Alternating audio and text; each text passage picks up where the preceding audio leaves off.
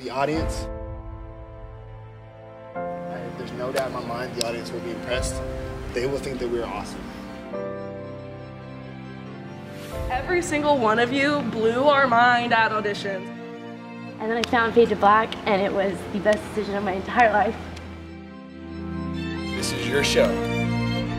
You're never going to have this again. So give it all that you got.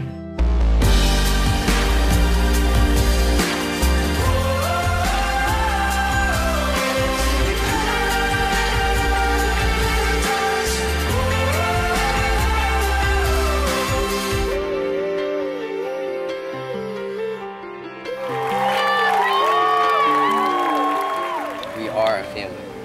We are!